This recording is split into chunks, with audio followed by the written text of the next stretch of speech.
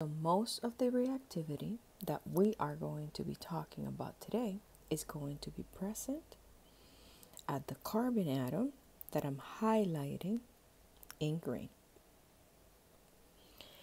Now, understand that when it comes to how reactive are these carboxylic acid derivatives, the most reactive is going to be at the top, the acid chlorides, and the least reactive is going to be the amides.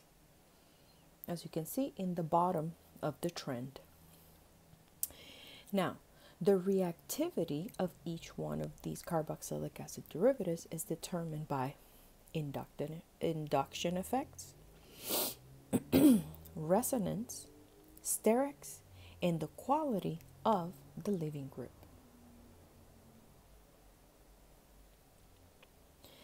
As I just mentioned, acyl chlorides are the most reactive derivatives. When we think about it in terms of induction, the electronegative chlorine is going to enhance the electrophilic character of the carbonyl. Because remember that that chlorine is an electron withdrawing group. So since is that carbon is sitting between two electronegative atoms is going to be more electropositive. This can be clearly illustrated if we look at the resonance structures that can be shown for these acid chlorides, specifically out of um, the acyl halides or the acid halides. The chlorine atom does not donate much electron density to the carbonyl carbon.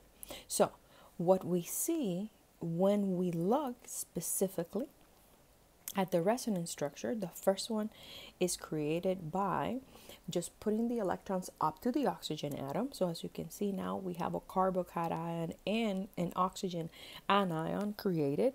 But understand that if you think that those pairs in the oxygen and the chlorine are going to be donated onto the carbon um, cation, that uh, resonance structure, which is the last one that we see here, is not a, sig- a, significant contributor.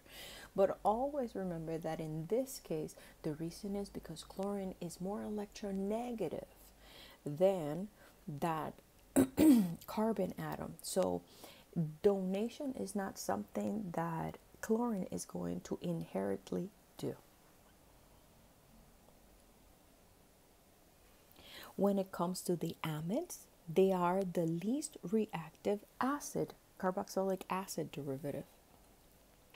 If we think about it in terms of the factors of induction and resonance, we can see why this is.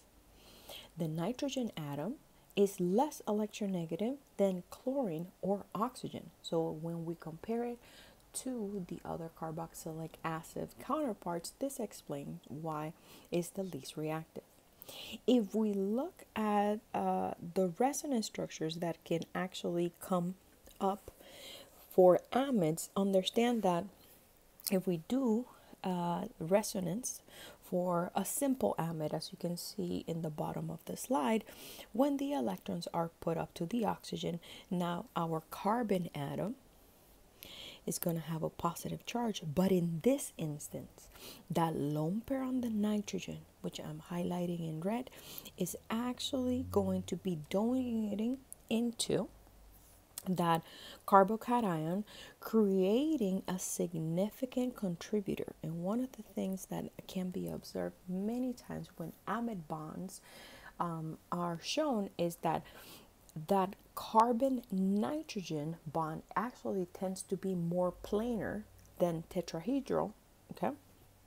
Because the donation of that lone pair actually is pretty uh, strong when that nitrogen is donating a lone pair to the carbon atom.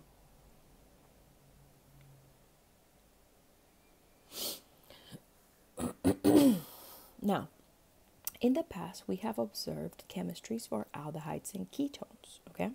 And we know that aldehydes and ketones are also electrophilic functional groups. But remember that they do not undergo substitution, okay?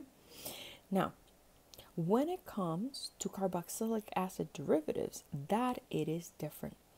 Because in carboxylic acid derivatives, they can undergo what is called nucleophilic acyl substitution. And what happens in these instances is that that leaving group that is present in specifically carboxylic acid derivatives, okay? So this is the group that distinguishes all of them that is just designated with the letter Z. It can be leaving the system because it is a good leaving group. So what that means is that what we are going to observe in time and time again in many of the reactions with carboxylic acid derivatives is that we are going to see a nucleophilic attack at the carbonyl carbon then that group that distinguishes each one of the carboxylic acid derivatives will leave as a leaving group and then the nucleophile is going to take its place. That's why it is called a substitution.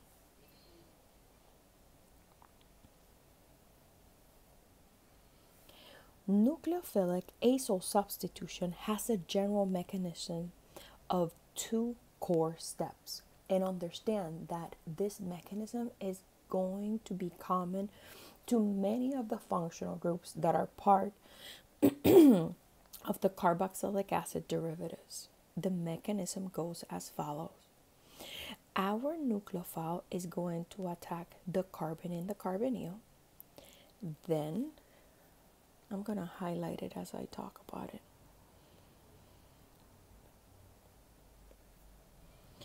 So the nucleophile goes and attacks the carbon in the carbonyl. As you can see, I'm just retracing those red arrows. Then the electrons go up to the oxygen. Then that creates an intermediate in which now my oxygen atom is negatively charged. I'm going to create a tetrahedral intermediate, as you can see. I'm just going to highlight it. So this tetrahedral intermediate is what this is. and then when the electrons from the oxygen come down to reform the C double bond O, we are going to have, so electrons are coming down to reform the C double bond O, then we're going to have that Z group, meaning that group that makes carboxylic acid derivatives their own identity is going to be expelled from the intermediate and we're going to now have the formation of the carbonyl group and the placement of the nucleophile in the final product. Now, understand that it is important to note that in that um, step number two, when the leaving group is leaving, we are always going to be forming or reforming that carbonyl. Okay, remember hydrogen and carbon generally cannot be expelled as leaving groups, and it is very important to remember as we proceed talking about the different conversions that are going to be happening with the carboxylic acid derivatives.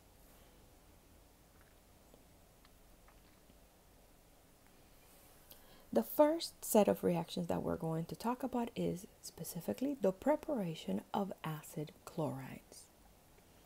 When it comes to acid chlorides, understand that they are going to be synthesized, as I mentioned previously, from a carboxylic acid. But specifically, if you're making an acid chloride, you're going to be reacting your carboxylic acid with thionyl chloride, in other words, SOCl2, and that's how you make the acid chloride. The mechanism for this reaction is split into two parts. The first part is a conversion of the OH into a good leaving group. As you can follow the steps that I'm going to narrate in the bottom, please follow the red arrows.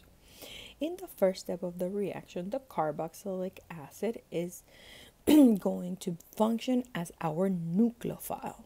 And what it's going to do is that the electrons from the single bond to OH, one of the pairs in the oxygen is going to be forming now a carbon oxygen double bond. Then the original carbon oxygen double bond is going to be the source of electron that is going to attack the sulfur in the thionyl chloride and that's going to push the electrons up to the oxygen. As you can see, we are going to be in uh, creating a molecule in which now the oxygen atom is bonded to the sulfur and the thionyl chloride and the oxygen that is negatively charged the one that is bonded to the sulfur is going to move electrons down and we are going to have a chloride ion leave from the system. In the next step of the reaction, the chloride ion that was pushed is then deprotonating our molecule and the electrons go up to the oxygen. So as you can see now, we have created an excellent leaving group in the molecule. And that is highlighted in a green box. The second part of the mechanism is a typical nucleophilic acyl substitution. So the chloride forming the first part is the nucleophile in this second step. Now, as you can see, the chloride ion is going to add nucleophilically to the carbon that is double bonded to oxygen, moving the electrons up to the oxygen atom. And then when the oxygen moves the electrons down, is going to be releasing uh, a compound that is going to have sulfur and two oxygens and that compound is going to degrade to make sulfur dioxide gas and the chloride ion. As you can see, that is the last step. Whenever you're proposing the mechanism for the preparation of acid chloride, the degradation of that SO2Cl does not need to be illustrated.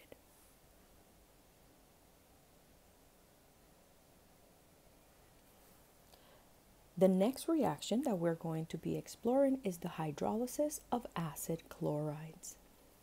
When it comes to this reaction, what we're doing is that our acid chloride is reacting with water. Remember, acid chlorides or acid halides in general are going to be the most reactive out of our carboxylic acid derivatives.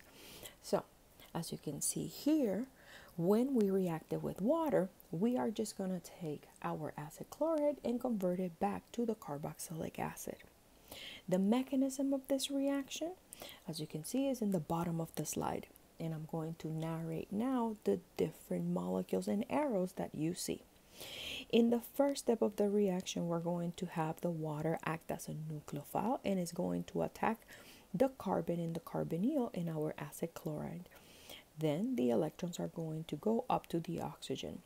We are going to create a tetrahedral intermediate in which now when the electrons of the oxygen ion that was created due to the uh, arrows in the first step, when we are trying to reform the carbonyl, we're going to have the chloride ion be removed from the molecule as a leaving group.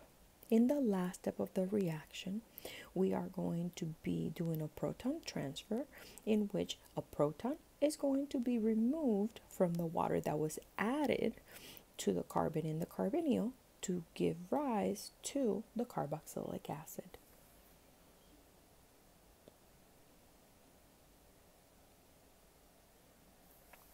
Understand that in this reaction, since HCl is a byproduct of the hydrolysis, typically we have pyridine used to neutralize it. So in this reaction, um, that's how you get rid of the HCl that was formed. And as you can see, pyridine is going to be a nitrogen base heterocyclic amine. We are going to be talking about amines towards the end of the semester, but pretty much you can see the acid base reaction that is happening between pyridine and HCl, in which pyridine acts as a base and deprotonates um, the HCl acid, and at the end, it makes an ammonium chloride salt.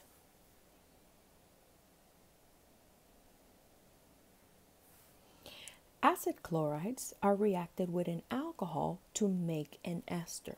So as you can see, acid chlorides or and even uh, carboxylic acid derivatives can be interconverted into one another. And this is where we see how an acid chloride can actually be converted into an ester. And is simply by the reaction of um, the alcohol and the acid chloride. As you can see here we're also utilizing pyridine in the molecule. Understand that sterically hindered alcohols um, react more slowly. So, a primary alcohol can be isolated selectively in the presence of a secondary alcohol. So, as you can see in the bottom in the example, in this molecule, we have different types of alcohols present in the starting material.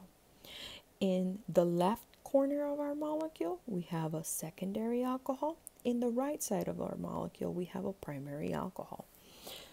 When we have such molecule and then we put it in the presence of um, an acetyl acid chloride, as you can see, selectively, we are going to be reacting that primary alcohol just because, as you can see, the reaction uh, proceeds slowly for the secondary alcohol so it will react faster with the primary. So as you can see that group that I'm highlighting gets incorporated to this corner of the molecule.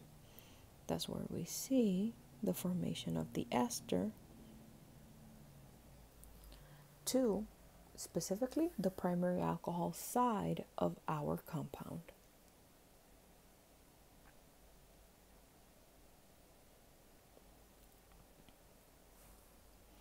Acid chlorides are also used to synthesize amides.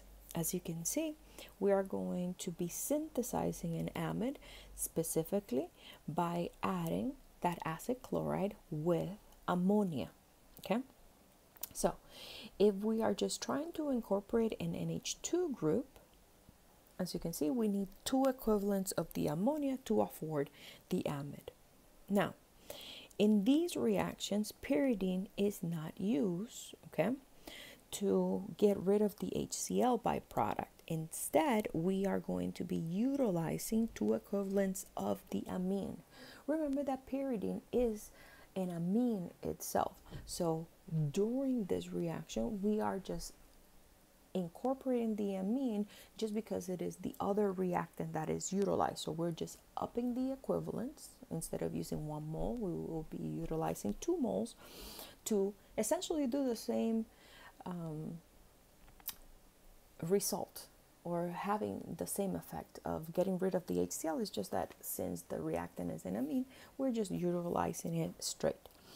Now, if we are trying to create amides that are substituted, and I mentioned previously how amides can have R groups around the nitrogen, understand that the way that we incorporate those groups next to the nitrogen, as you can see in the second and third example, is by specifically having amines that are substituted themselves. Because remember, this group is what gets incorporated to the carbon in the carbonyl in our acid chloride. So if your amine is substituted, then your amide at the nitrogen will be substituted, as you can see in the second and the third example.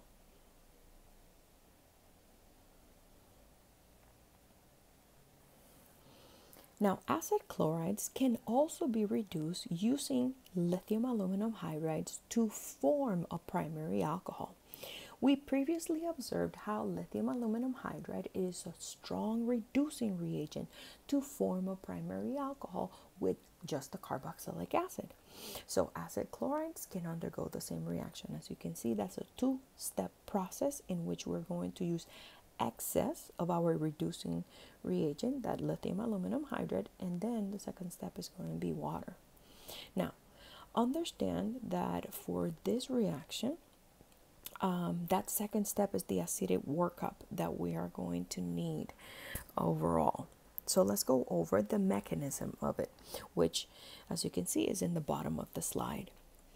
Now, when you have an acid chloride, as you can see, lithium aluminum hydride is going to specifically uh, have a hydrogen be the nucleophile. That's why the arrow is going in between the hydrogen aluminum bond. So that's what gets added to the carbon in the carbonyl. And as we have seen, uh, previously, the electrons go up to the oxygen. Once that hydrogen has been incorporated into the carbon of the carbonyl, then remember that in these processes, we are going to have specifically uh, the reformation of that carbonyl. So when the electrons come down from the oxygen, the carbonyl group is going to reform, uh, reform and the chloride ion is going to leave out of the system. Now, as you can see, here we are going to have an aldehyde intermediate.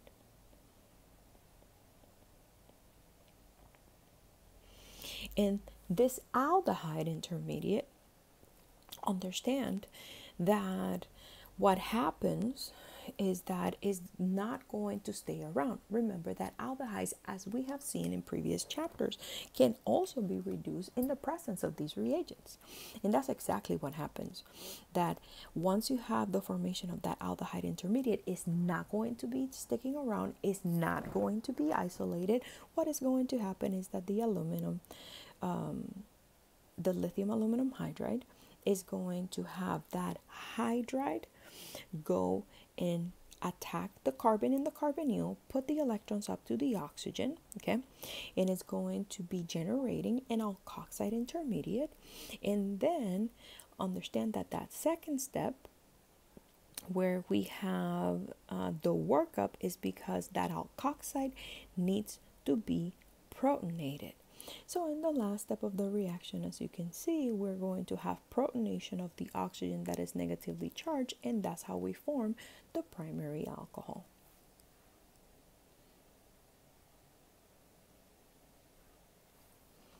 Now, there is a way in which the reduction can be stopped at the aldehyde, and that um, can be accomplished by using a modified form of lithium aluminum hydride. Okay, in this case, as you can see, lithium tributoxy aluminum hydride instead of lithium aluminum hydride can be utilized in the structure for um, tributoxy aluminum hydride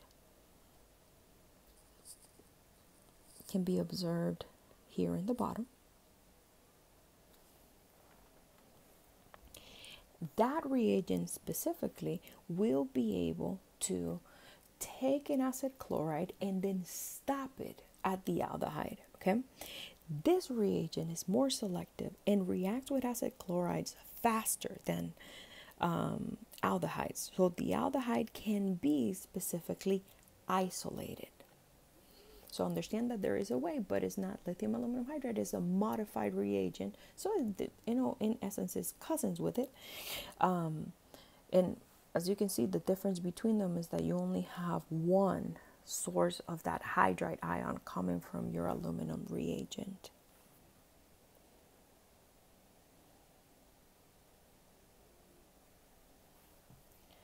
An acid chloride can also be reacted with Grignard reagents. When that occurs, what we are going to be forming is a tertiary alcohol. So as you can see from the schematics that we have on the top, when we have an acid chloride react with a Grignard, understand that then there's going to be a workup that has to happen in step two. We're going to form that tertiary alcohol. The mechanism uh, for this process is going to be analogous, meaning similar to the lithium aluminum hydride uh, mechanism that we discussed previously. It's just that in this case, when we look at the mechanism which is shown in the bottom, the Grignard reagent is going to be functioning as a nucleophile and it's going to attack the carbon in the carbonyl. The electrons, as you have seen by now, it should be intuitive that every time we're attacking that carbon the carbonyl, the electrons are going to go up to the oxygen. So we're always going to make that alkoxy um, tetrahedral intermediate when the electrons come down to reform the carbonyl carbon, then in, in, the case of the acid chlorides, we are going to kick out that chlorine. That's going to be our leaving group Now, when we reform our carbonyl, understand that in this case, we are making a ketone.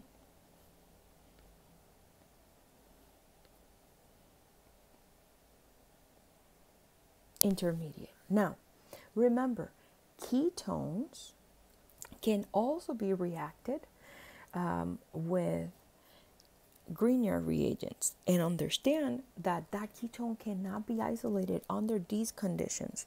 So there's going to be another nucleophilic attack from the uh, carbon anion that is inherent to the Grignard reagent that is going to attach to the carbon in the carbonyl, putting the electrons up to the oxygen, and then understanding the last step of the reaction, what is going to happen is that we're going to have that oxygen ion that was created after the attack of the Grignard reagent is going to be protonated, and that's how we are forming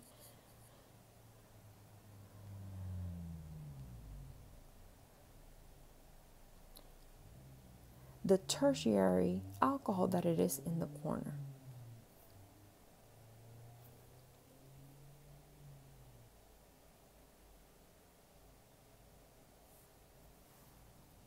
Another reaction that it is important to know for acid chlorides is the Gilman reagent.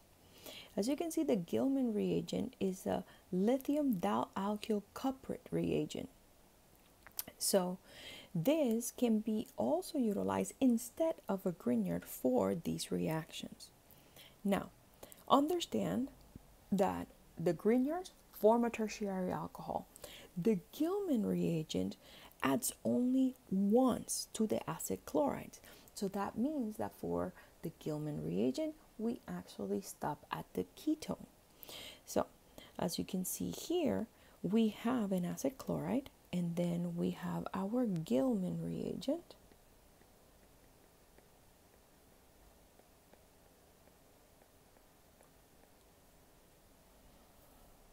And as you can see, the alkyl group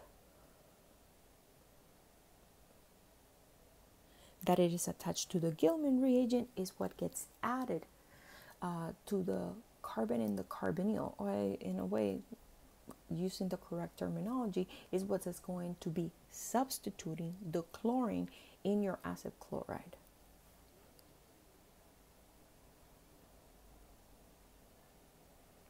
So, in this slide, we are going to have a summary of the versatility that we actually have for acid chlorides. So, as you can see, and we discussed already, acid chlorides are going to give rise to many of the acid chloride derivatives. And as you can see here, there's a variety of functional groups that can be generated from them. This slide specifically summarizes all of them. So, um, starting from specifically uh, the top. As you can see I'm just going to number them. So acid chlorides can form esters by reacting specifically with an alcohol in the presence of pyridine. Acid chlorides can form an amide by reacting with excess, um, excess ammonia. And as you can see number three and number four are going to be derivatives on number two. It's just that our amines are going to be substituted for the reaction number three and reaction number four. Acid chlorides on reaction number five in the presence of lithium aluminum hydride followed by a workup can form a primary alcohol. Remember that if you want to stop at the aldehyde this process, then we're going to be utilizing that tributoxy aluminum hydride reagent to stop at the aldehyde. Acid chlorides in reaction number seven can react with Grignard reagents to make a tertiary alcohol. If you want to specifically stop in reaction number eight at the ketone, then we are going to be utilizing a Gilman reagent. And reaction number nine illustrates specifically how we can take that acid chloride and hydrolyze it back to the carboxylic acid. And in reaction 10 is where we learn how to synthesize an acid chloride specifically, and that's by just taking a carboxylic acid and reacting with thionyl chloride.